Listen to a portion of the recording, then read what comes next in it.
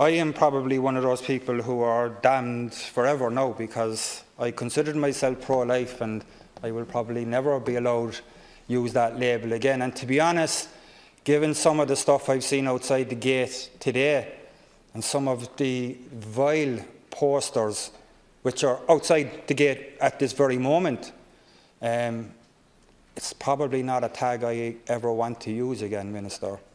Um, I now consider myself a realist when it comes to women's healthcare.